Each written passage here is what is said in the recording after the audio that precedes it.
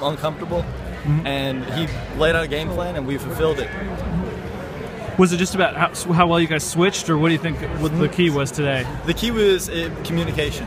It had to do with communication and then the way that we all uh, interacted with each other. Everyone was intense, whether it was kids on the bench, whether it was on the floor. Everyone was in the game the entire time, which really improved our defense.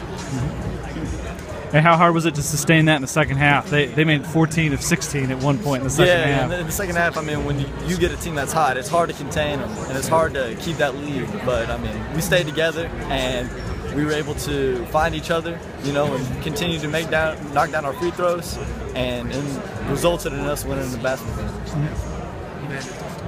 Chaz, did you feel better after you made the first two? I mean, after, after the first two, I knew the third one was going in.